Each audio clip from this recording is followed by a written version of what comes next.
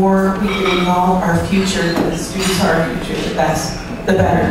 Anyway, um, back to Sandra. she has implemented a Gateway PhD program with SLIS from Queensland University of Technology in Australia. Um, and prior to joining the school as director, she worked in the Silicon Valley for more than a decade at major technology companies, HP, I'm sure, up here. Um, Microsoft. Microsoft. Microsoft. As an industry user and experienced researcher, leader, and manager, she contributed to R&D uh, research projects and influenced the user experience of web, mobile, and TV consumer products, resulting in five U.S. patents. She was previously an assistant professor at the University of Arizona and has taught courses for San Jose State University and the University of Washington. I, we were talking at the table, and she does all of this and more in addition to having two teenage daughters. Is that outrageous?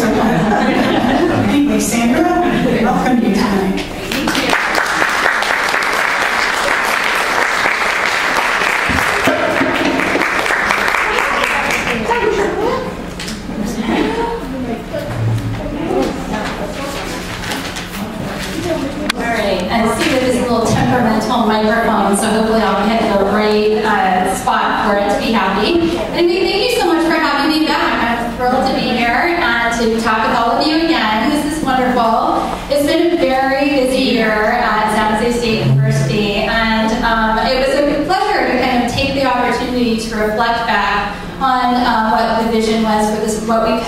Been working toward in the school over the past year, and then also think forward and, share with you some of the ideas that we have, some of the directions that we're pursuing for the future. So um, this is really a pleasure to be able to talk to you about all of this stuff. It's all near and dear to my heart, and um, so it's exciting to be able to share that with you. Um, as Vicki mentioned, I've been now the director at the School of Library and Information Science at San Jose State University for um, just over a year. It's been about 15 months since I took the helm um, in August 2010. And as I mentioned, it's been extremely hectic and busy year. Um, for those of you who, oh, I didn't open up my slides. Let me do that. Get that open really quick.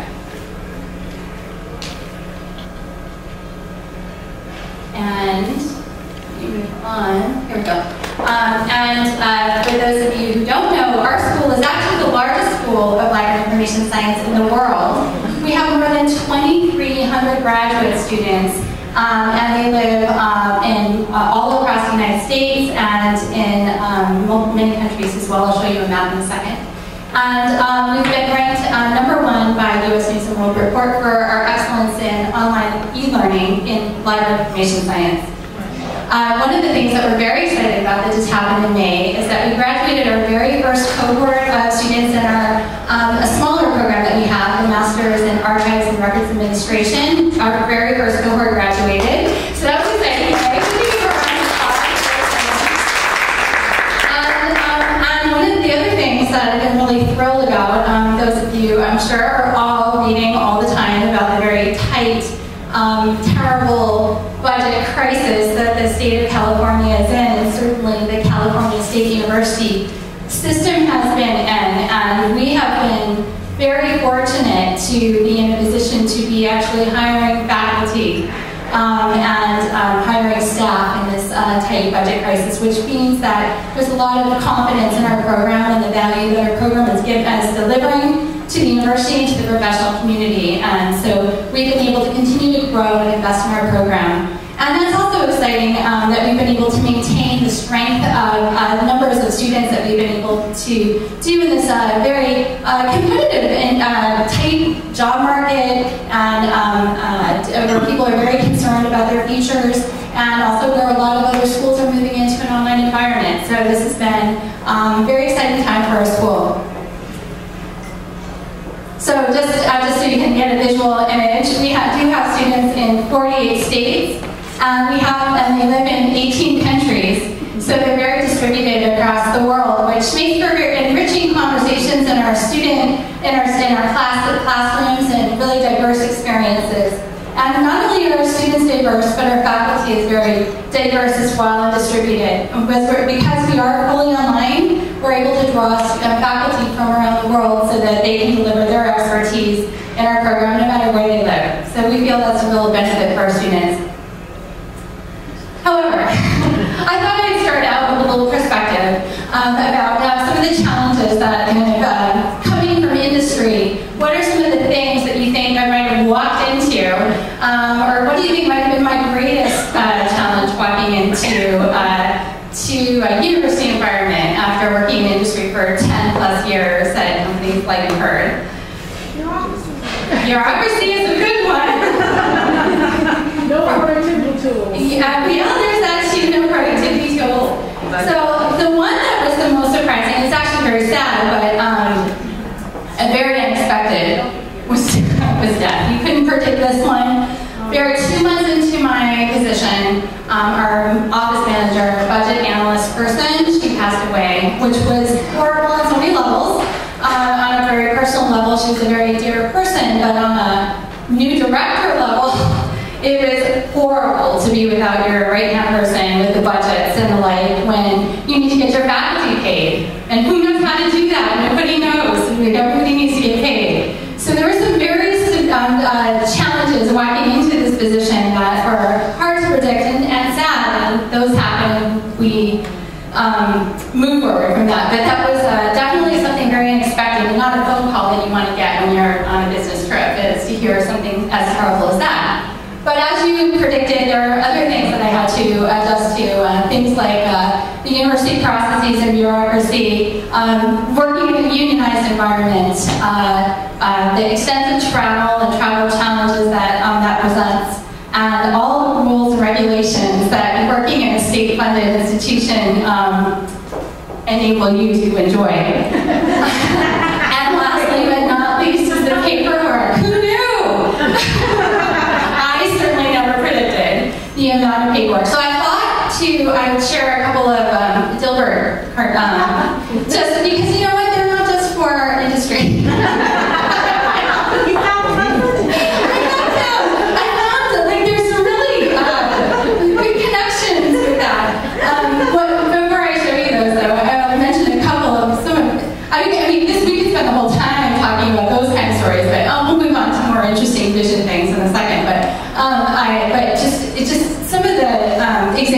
are so fascinating um, to me, uh, having to live through these.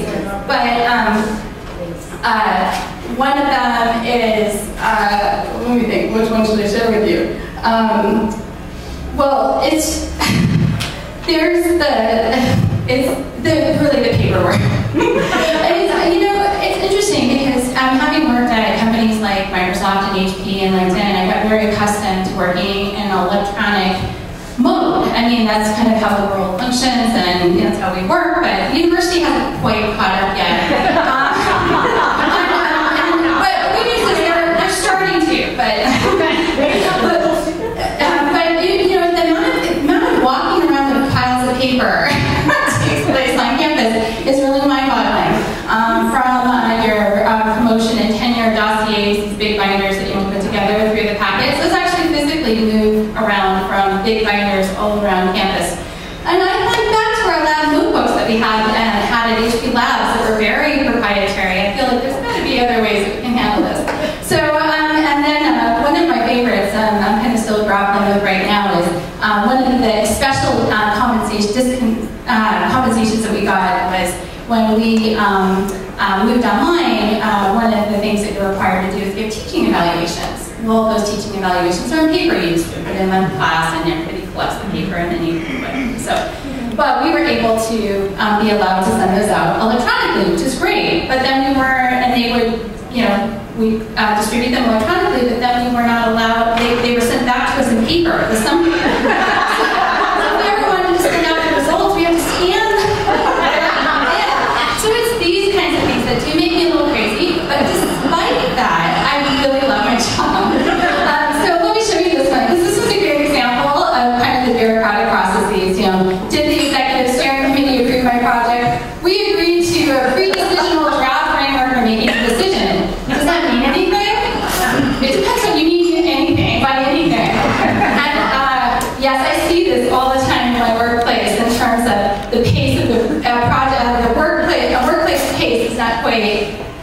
as fast as I would like to move. But that's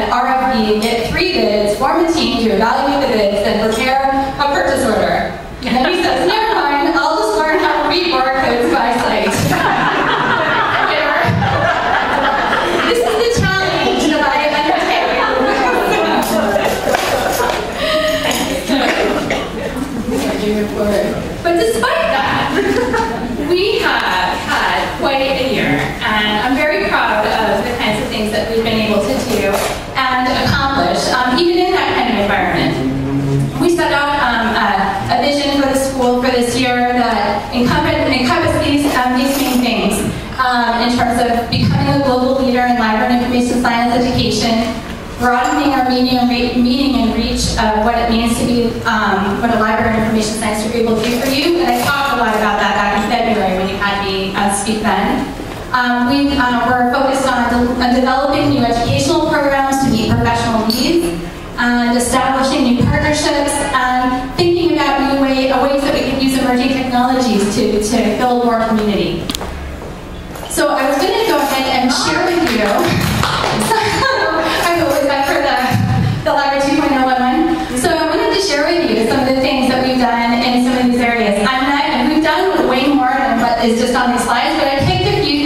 of show representative that some of the vision that we had for this past year. So one, the first thing I wanted to talk about is, uh, I'm thrilled, I'm thrilled there was an excitement about that, was we took, uh, we put on an inaugural virtual conference called the Library 2.0 101 Conference.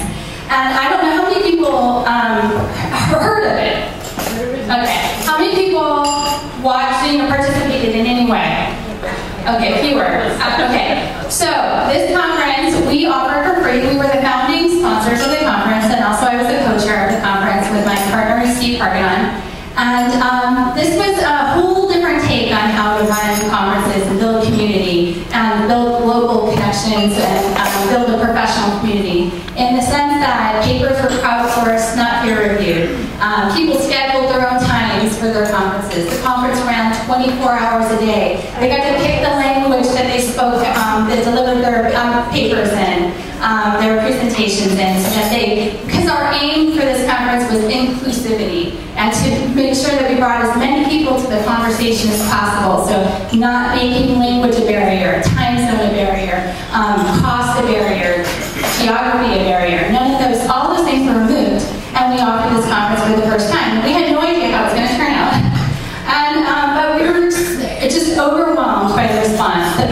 6,800 people from more than 150 countries participate and engage in this conference. That's more than 75% of the world's countries that were engaged in this. It was amazing. Um, we um, had um, keynote speakers from four continents, and um, I just spoke with my co-chair uh, just yesterday, actually, and we're uh, setting the, we're in the process of setting the dates for the Library 2.0 1-2 conference. So stay tuned. You'll be hearing more about that. So I hope, I hope next year that you guys are going to more will now now you will know about it. So next year there'll be um, more of you will submit and participate in it. I will say that the tweets that went out and the level of energy and excitement that the people that were involved in that was palpable, and you could feel it over the, the internet waves, and it was very exciting. So, um, so that was one thing that we did in terms of becoming a global leader in library information science. Um, the other thing that we've done, and that's also um, new and interesting, that wasn't the case back in February, is that we've just launched a student research journal um, that's fully online. And we've opened it up so that it's not just for San Jose State students, but it's for any students in, the, in um, library information science or related areas that want to um, um, publish, submit a journal for publication and consideration. It's a peer-reviewed journal, open access, and um, you guys can check it out. I have flyers for this if you're interested in learning more about it. I have um, over here, so just let come up afterwards and let me know. Um, so those are things that we're doing in that in that respect. So another thing um, that we've been working on is broadening the meaning and reach of library and information science. And these are just a few of the things that we've been doing in this regard. As I said, I spoke with you a lot about that back in February. My keynote that I gave at the Library 2.011 conference was very much targeted to this topic. And um, we've been putting a lot of resources and energies behind this because I think this is something very important for um, uh, uh, our profession is to be thinking about, you know, in this tough in this tough market and and the like. It's not that there's not it's not that there's not opportunities for people with library information science degrees. It's just that we need to be thinking creatively and differently about what those what those options and opportunities are. And I'll talk a little bit more about that later. But um, one of the things that we've done to help students think about the careers and opportunities is that we've just launched fall a careers colloquium. These are open actually for everybody and they're free. So if you're interested, they're fully online that we offer via Elluminate. And what these are aimed to accomplish is we're bringing in different people and different um, to talk about different kinds of careers. So the first ones we did, did series around federal federal libraries and agencies and opportunities in the federal in the federal um, realm. And then we've had other we're bringing in other speakers as well. That is the first one, and we've had Kim Dority and Scott Brown talk about opportunities in library information science as well. And that's going to continue. So that's one thing that we've been doing. Another thing is I recommend, if you haven't already, that um, we've developed and invested heavily in our career pages, career development pages on our website. It's very robust. There's a lot of information. ALA actually links to our site now because we've done such a thorough job of collecting really valuable information and presenting it there. So that's something that, um, that I think is, as valuable. I want every student that goes through our program not to say that, you know, when they go through this, that they have every resource and have had all of the training and put the thought in to enable them to be successful when they graduate. And that's my goal. So there's a lot of resources for them to use. We have a careers consultant that can, they can meet with to help develop their resume and to um, get tips about interviews. They can meet with personally one-on-one. We also offer um, monthly tip um, uh, presentations about like how to do interviews, how to handle tough interview questions, um, and, and the like. And then the other, one of the other things we did this year is we also um, changed from our specializations pages, we used to have specializations, and we changed them into career pathways. They were never true specializations in the true sense of what a specialization was anyway, they were really recommendations. So we've revised that and turned them into career pathways and updated the content and refreshed it to reflect what we understand about what the market is and where, you know, what the opportunities are. Those have been fully redone and um, so those are um, nice because they talk about the kinds of jobs you can get and also link to stories that we do of our students and alumni to show how people in that space, like special libraries has, is one of the career pathways. And, it, and we have a number of stories tied to what our alumni and students are doing in the special library space so they can get some examples of that as well. One of the other things that we're doing that uh, is um, something we've been really focusing on a lot more in this past year is um, the idea of virtual internships.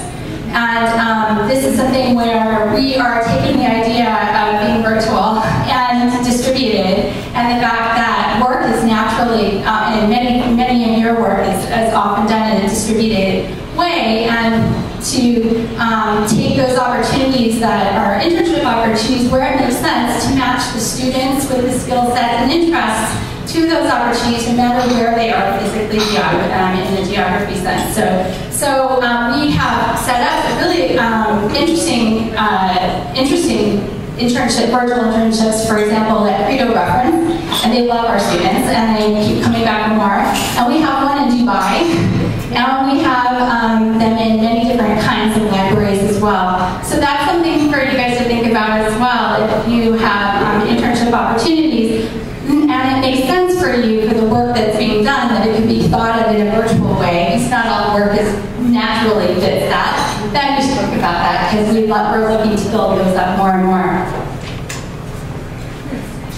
Another one of the of areas that we've been focusing on this year is in terms of developing uh, new education programs to meet professional needs. And one of the things I think we talked about last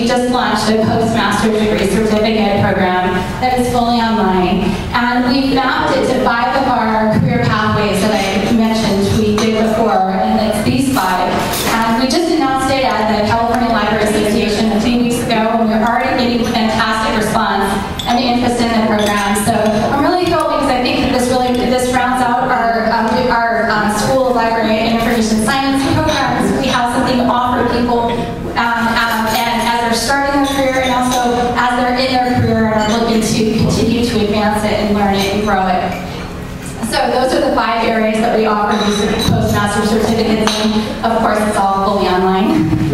Um, the other thing that we've done to optimize for our, um, um, to really move ourselves fully online and virtual, we've embraced that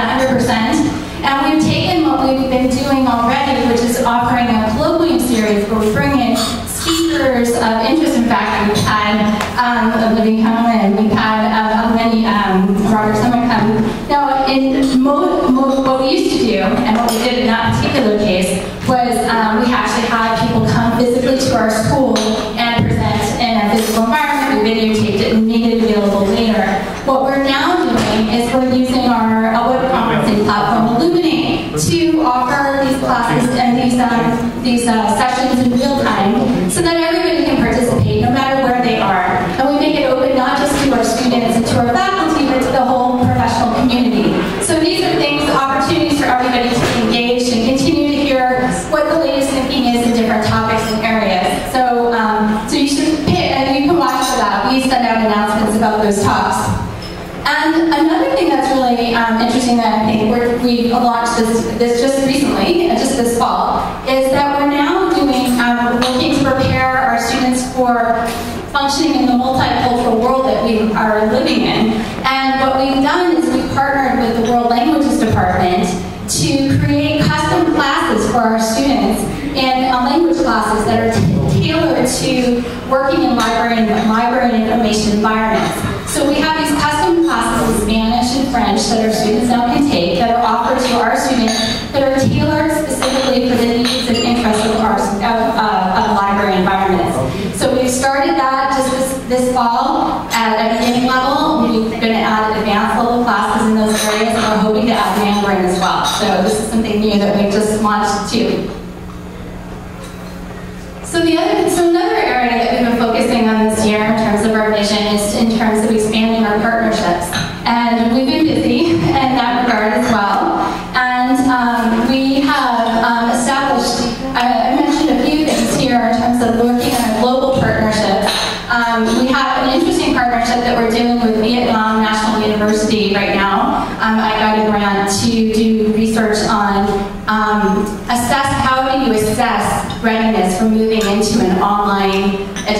environment. How do you know when you're ready? And um, so we are doing research with um, Vietnam National University in Library and Information Science and Social Work to determine, um, create the kind of rubric or benchmark for assessing that and working with them to um, to help them move in that environment when they're ready. They're not quite yet,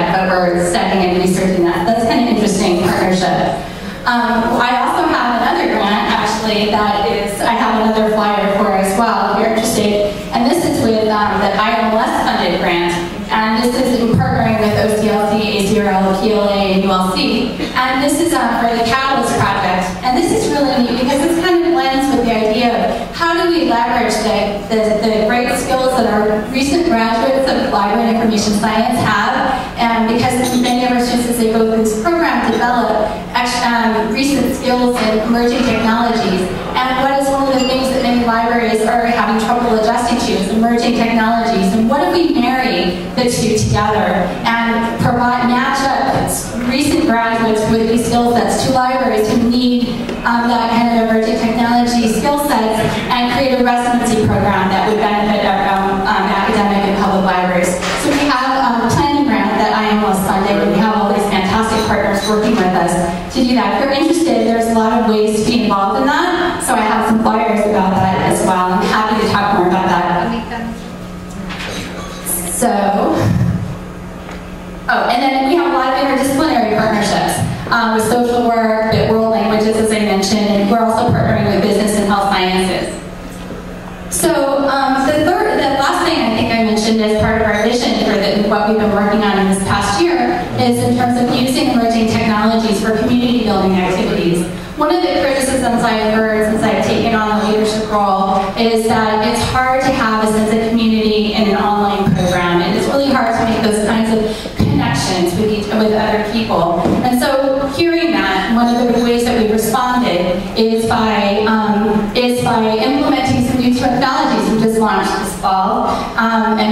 um, Blackboard Instant Messaging, um, Blackboard IM, which you have a little picture of here. doesn't show its full capabilities, but this is um, really neat. Um, uh, technology that is enabling us to take kind of that sense of distance out of distance education. And we're doing that by providing this, um, this where um, it, it actually automatically puts all our students by class in, um, so you can see, and readily by IM or other communication with your peers in your class and with your instructors.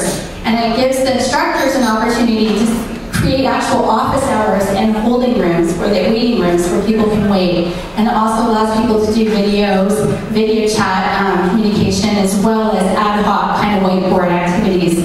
This is meant to supplement our, our use of web conferencing platform, which is a heavier, more uh, structured, you know, kinds of more heavy use. This is for the ad hoc random communications. As if you're sitting next to somebody in class and you see that they're online, you can reach out to them and have that kind of conversation. And it's really starting to break down those barriers and make people feel closer together.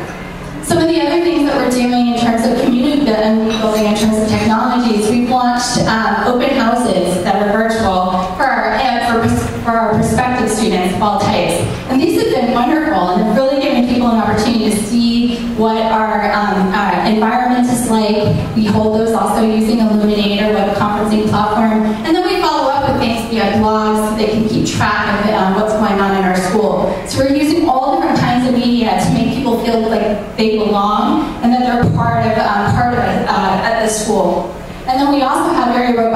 Twitter, Facebook, and LinkedIn um, uh, pages and uh, that we're posting to all the time. And we're really increasing our Twitter use as well. Um, and so there's a lot of engagement.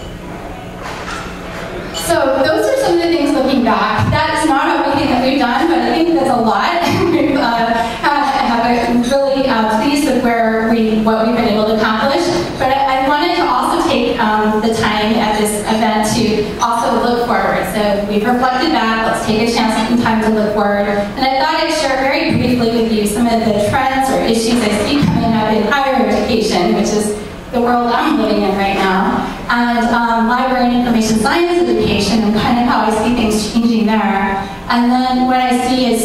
things are changing for library and information science career prospects and what's going on in that area, and then some of the future plans for um, for what we're what we're doing. So that's what I'm going to do now. So some of the things I see in higher education, and I think these are pretty common things that as far as I can tell from talking to other people and what I read in the literature. Um, so the first thing is that the higher the state economy is a mess, and um, that affects public, public universities very heavily and hardly, uh, in a very hard way in terms of, um, you know, we've been seeing that student fees are being hiked up all the time as a way to bridge the financial gap that they're, um, that we're, that is being, you know, that we're, that we're facing. There's fewer courses for them to take. Um, there's costs that they larger. Um, you know, the budgets are not getting any bigger. And um, there's been extremely limited faculty hiring. Um, and there's just fewer jobs. So I mean, it's kind of bleak. It, doesn't feel so great being in that environment. That said, I did say that um, our university has been investing in us. I will give you, just so it helps you put in perspective with what I'm talking about, San Jose State University, um, the year I was hired in 2010, there were only three hires, faculty hires that year. I was one of them and I was a replacement. So just, okay, so but we, our school was one of three hires that year. In 2011, there were only 11 faculty hires for the entire university campus. We got one of them. So I think that's amazing that we were successful in, in negotiating that. And this year, while the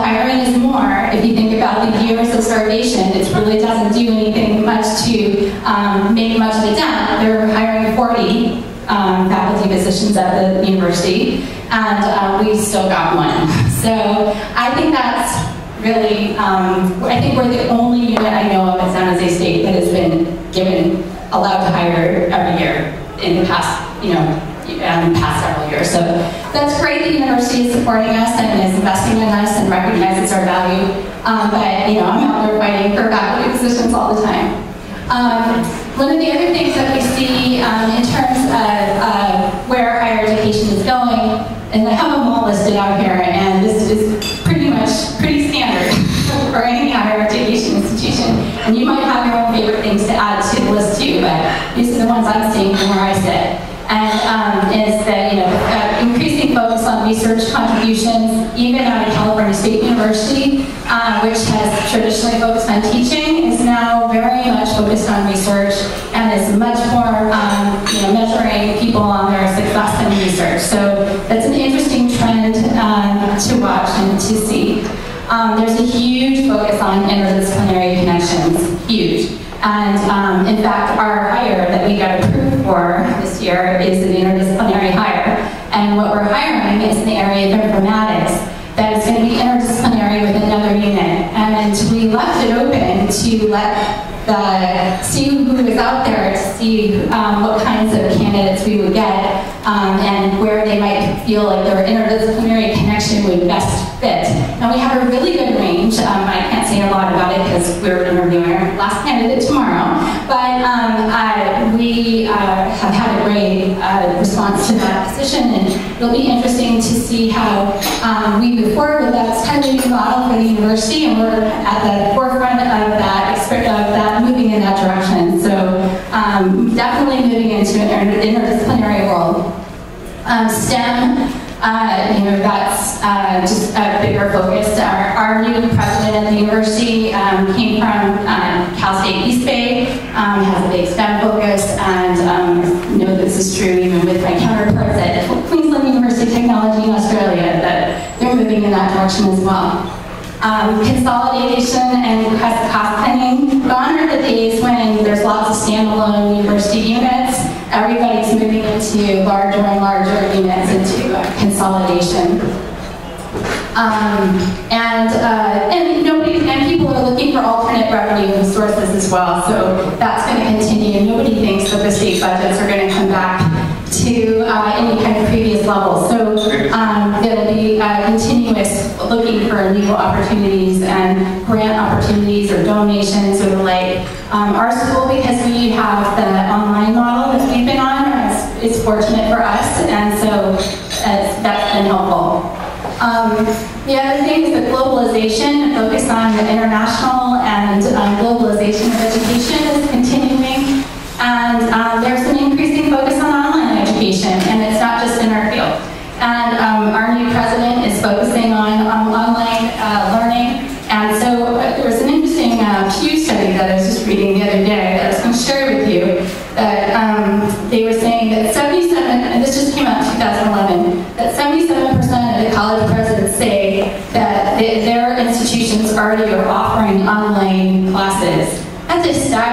statistic if you think about that. And um, there's just been in, increasing enrollments and growth in online education at the undergraduate level, and certainly we have it at the graduate level.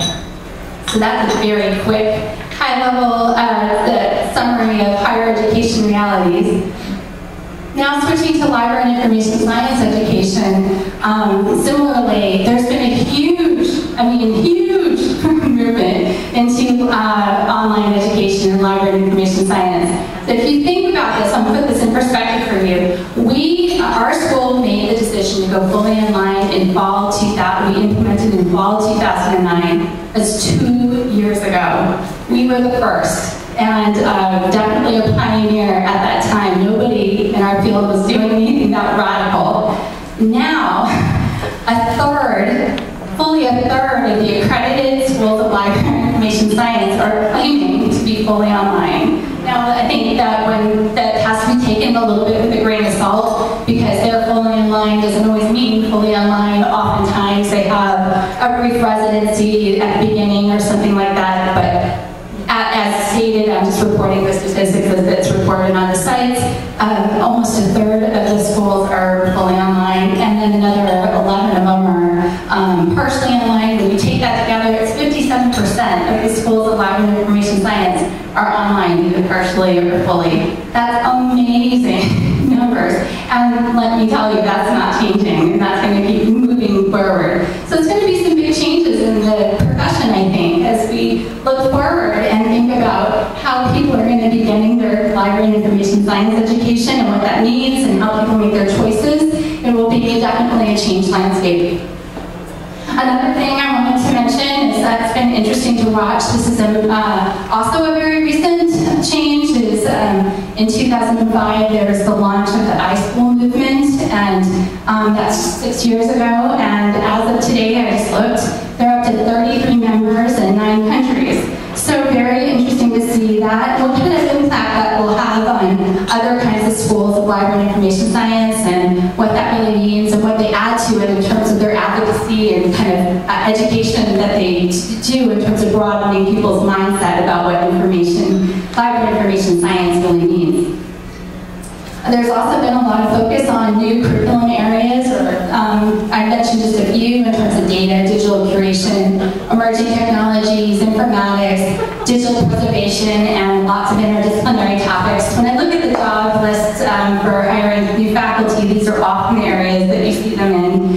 They're, where they're creating new degree programs is often in the areas of areas like health informatics or you know digital curation or things like that. These are definitely kind of the areas of du that people are focusing on. And then there's been this increase, um, you know, a demand for continuing professional development. And there's been a huge growth in the amount of options I think that people have to get that professional development education in terms of little workshops and webinars and things that are offered online. Um, you know, uh, all different, Info People, WebJunction, ALA, like you name it. Refresh and many people feel the need for that because so many of the things are changing so quickly and what they learned in their library school program is probably outdated and so they're feeling that and need to be competitive, they need to retool. So um, one of the things, and now shifting gears, looking forward in terms of what do I see as the career prospects for people with library and information science degrees, um, I, I still, I was still fairly optimistic on this at this point because I do see that there are opportunities, even though there's a lot of negative discussions that are held on that. But one of the things that I think is interesting is this um, from the Library Journal Placements and Salary Survey um, that came out in 2011 is this, you know, this idea that jobs in private industry continue to be lucrative for new library information science graduates, and uh, those are up and are growing. So there are definitely areas of hotspot areas for where there are opportunities for people with the library and information science skill set. Now, I think I talked about this last time. This is something that we do um, every year. We do an annual jobs audit, and our school takes a look at job postings every year and um, for people with library information science backgrounds, and we do some research to see kind of what the trends are in terms of what are the skills that people are, you know, hiring for, what are the job titles that people are posting jobs under, and where, what are those opportunities for, what are the trends and opportunities for students um, who are in a program and looking for future opportunities. So this is reflecting our updated jobs audit that we just completed in August 2011, so fairly recently. And um, this is, so this shows um, that some of the things that we've identified as um, kind of the knowledge that people are looking and recruiting for focus around areas like metadata, um, instruction and technology, especially in the integrated libraries and systems and Web 2.0 applications, and that there's still an interest in um, people with experience and reference. Um, and uh, so there, this is just interesting for us to see what kind of expertise is in demand.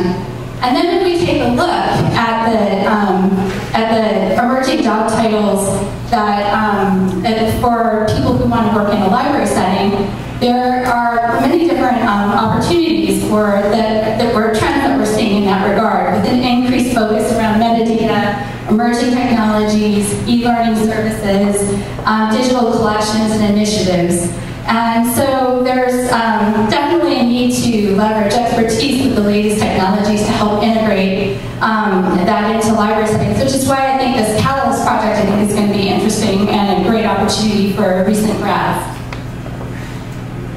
Um, then if we take a look at the emerging job titles that for non-library settings, um, it's interesting because these job titles don't have the word librarian in them, but yet they're le leveraging a lot of our core um, skill sets and just in different ways, and um, especially leveraging our deep understanding of the end user needs and technology in, in positions like social skills, media liaison, or usability analyst. And um, the and our expertise in research skills and um, analysis jobs like business intelligence analyst and information specialist. And then uh, some, using some of our expertise in information organization and user needs, those can be um, well mapped to positions like information architect, web content, um, web content manager, and media taxonomist. So there seems like there's a lot of good opportunities for, um, I think, uh, for people who with uh, degrees in our, uh, in our in our library information science. So let me switch gears and, and talk a little bit about what I see coming up for SLIS um, in the coming year. Um, these are some of the things that we're going to be working on. Um, one of the things I've been very interested in doing, and it's been an idea I've been wanting to do even since I was on the International Advisory Board for the school, is to develop um, this center, a research center for the school. Um, you have named it the Center for Information Research and Innovation, and we're working on that right now, and we're going to be launching it as a virtual research center, and we're defining it and working on it, but this is going to be a vehicle that I'm hoping that we'll be able to develop partnerships with people like you and um, a different um, uh, Silicon Valley companies, with um, uh, other libraries, with the state library, with government agencies internationally to work collaboratively on research problems and um, and uh, and to uh, advance our learning in different areas. So we're looking forward to launching this and also showcasing some of the work that we're already doing in, in terms of research, which this will be a good home for our student research journal, for example, some of the work that our Gateway uh, PhD students are doing, our doctoral students, some of the grants that we've been getting that I think you don't really have a good home. So these will be another way for us to represent some of that as well. So I'm looking forward to creating that, and so stay tuned, there'll be a lot more information. Um, there, we're also going to be focusing on increasing our partnerships. I think partnering is a, a, really important way for us to continue to learn and grow together. So um, we will be doing that, that, as I mentioned, will be one of the things I'm hoping that we can achieve even uh, with greater success um, when we have our research center uh, established. Um, you'll be seeing increased um, continuing global 2.012 conference coming, and we'll be doing other kinds of research partnerships and, and international engagements um, going forward, and participation in international conferences, engagement in the international arena. So you'll be seeing that as well. Um, the other thing that we're working on, and actually we're just about done with, but it'll take us time to, to uh, transfer all of our content, is um, a web redesign, which I'm excited about, because I think it'll give us an opportunity to, um, to reach out and to um, interest a broader range of people that rather than our current students. And I think we do offer a lot to other people, so um, I think that it'll be better represented in the new design. So that's coming. Stay tuned for next year. And um, the other thing is I'm hoping to continue to increase our student and alumni engagement. We've already done a lot in that regard. Um, one of the things I'm, I'm, thrilled about is that we've resurrected our um, ACES student chapter um, this year, and it is going gangbusters. They are just going hoping that we can get a student chapter for SLA resurrected. Um, and I think that would be fantastic if we could. Um, the other thing that we have done that I think is um, interesting is that um, we have a unique model where we've recently uh, combined our student association and our alumni association into a single association. And um, they have are just you know finished you know, kind of working out the details, and I'm looking forward to uh, an interesting and productive relationship to think about what how students and alumni can uh, benefit um, from each other. And so that will be uh, coming up as well. And uh, oh, the other thing is, and, and just so you know, just even our existing student chapters continue to be successful, which I think is amazing. Um, in an online, fully online environment, our ALA twice, and this year was ALA Student Chapter runner-up nationally. So I think that's incredible um, because, again, people tend to think that it's hard to build a community and be successful in a non fully online environment, yet our student chapter has managed to do that time and time again. And I can tell you the ACE student chapter is really off to a great start. So I'm looking forward to and hoping we can get it, SLA student chapter up and running as well. And then finally, um, looking forward to continued excellence in library information science education and also in um, information and building up our strength in information science education as well. Um, I, my recent hires have been in that area, emerging technology, and about to be in the informatics space. I think that it's important for us to have a really well-balanced set of offerings our students that map across library science and information science. We're already very strong in library science and I want to be equally strong in information science. So that's what we're working on. It's not to trade off one against the other, it's to make them strong across the board. So um, that's what I'm working on as well and we'll continue, you'll see continued investments in that space. So in conclusion, um, I left you this quote last time and I'll leave it with you again um, is just that the future is not some place we're going, but one we're creating, and the paths And the activity of making them changes both maker and the destination. And um, I think that this has been an amazing journey, this first 15 months on the job, and um, I think we have a uh, really, um, uh, I think, ambitious and um, exciting path to the future, and I'm hoping that you will join me and help me make that a great destination as we move forward. So thank you.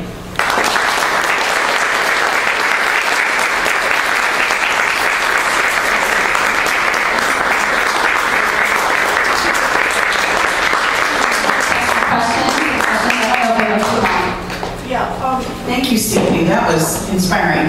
Uh, wow. Uh, questions and answers now? Yeah. Hi. Um, I was wondering if you uh, have done any research on where your students are coming from these days, and, you know, from industries or from different other schools, or how long they've been out of school, so, and if it's changing at all, students. Yeah. So he's asking about the demographics of our incoming students and whether we have data on that. We do, and we are finding that we're um, having, uh, there's a slightly younger group of, of, students that are coming into our program than what has been traditionally the case. I'm still heavily email email um, dominated, but um, uh, but uh, we're very good from from a diversity standpoint compared to other schools.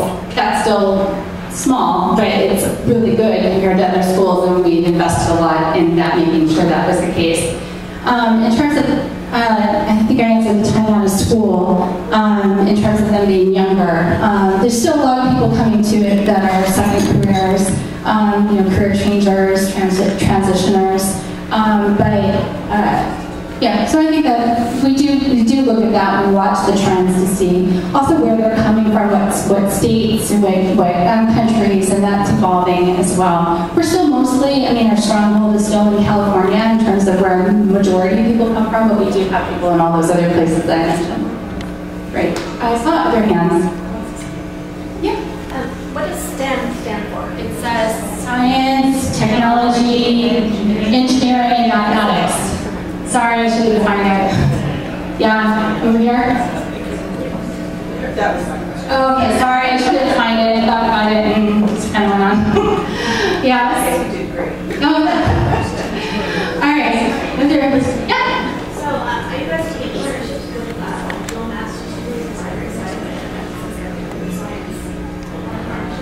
Potentially. I mean, that, that's a possibility. Um, you just open a whole window of paperwork.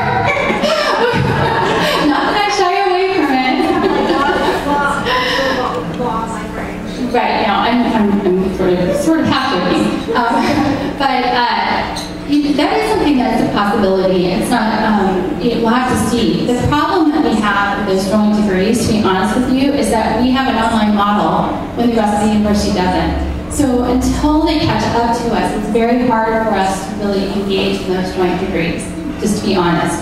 No, I think that'll change, but I'm just saying from right now, there isn't any other program on campus that is to how we are. In fact, we're held up as the model on campus for how, where the, you know, others should be following. Where else does a library information science program get to be the model? I mean, that's pretty unusual to be held up like that, but we are continually held up like that. So others will come. So I think until that time, we're a little bit um, limited, to be honest.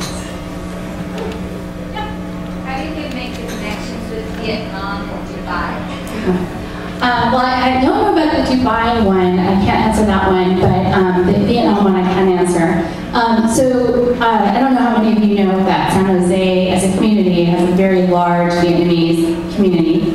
And, um, and our School of Social Work has, um, as one of the few social work uh, Vietnam PhD trained, I think the only one, but Vietnamese trained um, social worker. And so there's been actually connections that within my college, um, that social works in my college, that they've made with Vietnam National University and many other institutions in Vietnam from a social work perspective. And they've actually helped the country develop their very first social work degrees. It's a whole new discipline out there and, in Vietnam a very important one because AIDS and all sorts of other kinds of diseases. So they have, um, so they've been doing that. And um, when on one of their visits, when they were out talking about social work things, they said, oh, we'd be interested in you know, developing a partnership in library and information science. And it was through that and through our umbrella MOU that our, our college already had that I was able to leverage that to make those inroads and connections to Vietnam. It's a little long-winded answer, but it's how it happened because it is a little bit like, huh, how did you end up with Vietnam? That's how. Um, and it's been a great partnership and a really interesting environment to do it because, um, you know, uh, we've seen in the United States this really pretty rapid shift right now in terms of moving into online education, certainly in our profession, and then I'm seeing it more broadly, and it's just all coming. But it's interesting to see kind of the reactions in other countries to online education. There's a lot of uh, fear and trepidation and um, mistrust, and um, so it's not just a technology infrastructure that needs to be in place, but there needs to be a readiness for it um, in terms of the attitudes and perceptions of what online learning can do. Um, so it's interesting to see what's happening in Vietnam, and even if I've been there twice now in this past year, um, I've been on 20 trips. It's been very, when I was talking about some of the challenges, adjustments, travel has been one of them. But um, I went to Vietnam twice, and in that time period, I went to Vietnam in like end of February, uh, beginning of March, and then I went back in September. And already the amount of change that's happening there is dramatic in terms of, in every way, including, you know, kind of mindset and, and reactions to online learning. Anyway, Sure. So then are classes held in English or do you do simultaneous translation or both? So we're not doing classes right now, so we're not, so my, my idea had been to, my original idea was like, wow, that'd be great if we could offer classes in other countries. But the reality is that that's challenging for a number of reasons. Um, not to mention that we don't offer classes in Vietnamese, but, um, and their amount of English that they know is not so much. So, um, so then I thought it would be neat if I, we partnered through like our research center, that we could we do that as, a, as an uh, effort to help other countries or other places develop online learning because we really have it down pretty well and you know, we're continuing to innovate to help others do that. It be like consulting or grant funded work that we could do. But now when I went out there, it was clear that they weren't ready for that yet because of infrastructure reasons, but also these attitudinal and perception issues too. So then that switched it to let's do some research to assess how do you determine when you are ready to move in that environment? So it's been interesting. We've been doing a year of research there with stakeholder interviews and technology assessment and um, focus group interviews with different groups, people in the community, professionals in the community, with students, with faculty, administrators, and the like. It's really interesting, I think. Me. Yeah. Um, Before I was laid off of Roche, um, the information scientists were working within the bioinformatics group. So now that you're having, getting into the informatics area more in depth online, how do you see yourself um, interacting with the bioinformatics division at San Jose State? Well, um, so the, I mean, that's a good question. I mean, I, I think that we're going to make hire. I mean, in informatics right now, so it's kind of growing, right? So um, that person's going to come with their own specific area of interest, which may not be in bioinformatics. It might be in, um, it might be in social informatics. It could be, and like there's computer informatics. It could be a whole different area. So there may or may not be an immediate tie-in right away to bioinformatics, and if I'm understanding your question correctly. But it might be something that we've been developing over time. So we'll have to see how that goes and the kind of skill sets that the person ended up hiring and what kind of connections we are able to start building from that on campus going forward. Did that, did that answer the question? Sure. Okay. okay.